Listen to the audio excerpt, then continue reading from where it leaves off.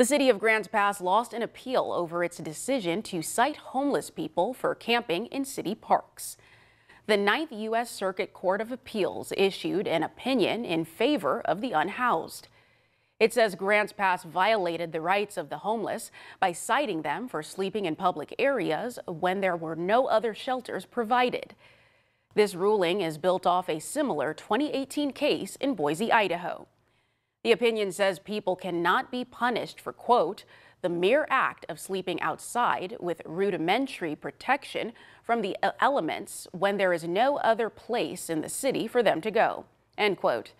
The city says it gets a lot of complaints from people concerned about safety and cleanliness in its parks.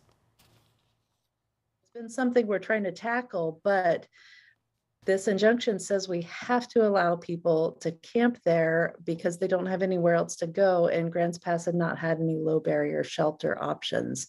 So we're working on creating a low barrier shelter to give people an option.